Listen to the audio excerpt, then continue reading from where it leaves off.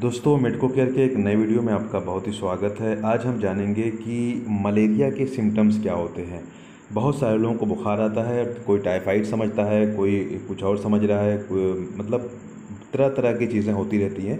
तो इस वीडियो के माध्यम से आप बिल्कुल क्लियर समझ जाएँगे कि क्या दर्द कहाँ पे होगा, पूरी बॉडी में क्या क्या चेंजेस आएँगे, पेट में क्या प्रॉब्लम हो सकती है। इसी तरीके से और कौन कौन सी चीज़ मिलती है मलेरिया के बुखार में या मलेरिया में। तो सबसे पहले आप ऊपर से देखें कि पेन एरियाज़ यानी कि दर्द कहाँ हो सकता है तो जो पेशेंट होगा, उसको पेट में दर्द हो सकता है एब्डामिन में और मसल्स में, यानी कि पूरी बॉडी की मसल्स में दर्द हो सकता है, पूरी बॉडी में उसको दर्द हो सकता है और पेट में भी दर्द उसको हो सकता है।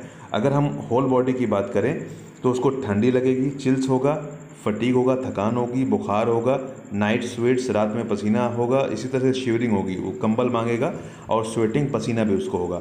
ऐसा अगर किसी को बुखार आता है, यानी बुखार ठंडक लग के आता है, साथ में पसीना होगा, साथ में उसको कपकपी होगी और बुखार कुछ देर के बाद पसीना होकर के उतर जाता है, उसके बाद फिर एक टाइम के बाद 24 घंटे के बाद, अड़तालीस घंटे के बाद दोबारा फिर बुखार चढ़ जाता है। तो ऐसी कंडीशन अगर किसी पेशेंट की है, किसी की है तो उसको ये समझना चाहिए कि उसको कहीं मलेरिया मलेरिया तो नहीं है। अब हम जान लेते हैं कि गैस्ट्रो इंटेस्टाइनल यानी कि पेट में उसको क्या प्रॉब्लम हो सकती है। तो डायरिया लूज मोशन हो सकता है नाजिया उल्टी हो सकता है और वॉमिटिंग नाजिया यानी कि मतली आ सकती है उसको और वॉमिटिंग उल्टी भी हो सकती है। इसी तरीके से आल्सो कॉमन कौन कौन सी चीज़ और मिल सकती है? तो फास्ट हार्ट रेट, यानी कि उसका हार्ट रेट दिल की जो धड़कन होती है, वो मलेरिया में बढ़ी हुई होती है, जबकि टाइफाइड में कम होती है।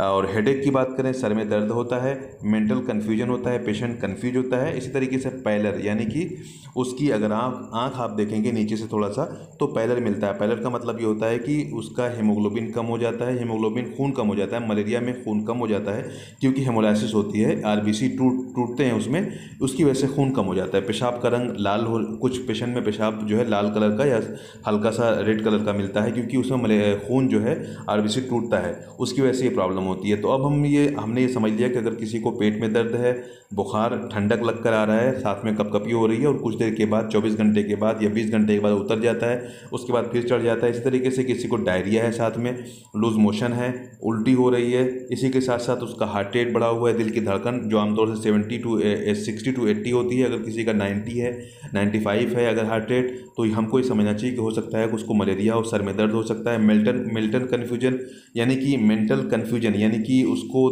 कन्फ्यूज़ होगा वो, बहुत ज़्यादा परेशान होगा और पैलर साथ में, यानी कि उसकी आँख जो अगर आप देखेंगे तो उसमें हीमोग्लोबिन उसको कम होगा। तो दोस्तों, ये रही मलेरिया के कुछ लक्षण, उसकी कुछ सिम्टम्स अगर ऐसी किसी को प्रॉब्लम होती है तो आपको फ़ौरन उसका मलेरिया की जाँच करानी चाहिए डॉक्टर से मिलना चाहिए और उसका इलाज कराना चाहिए। दोस्तों, ये जानकारी मलेरिया के सिम्टम्स के बारे में, अगर आपको जानकारी पसंद आई तो वीडियो को लाइक करें चैनल को ज़रूर सब्सक्राइब करें। Thanks a lot thanks watching this video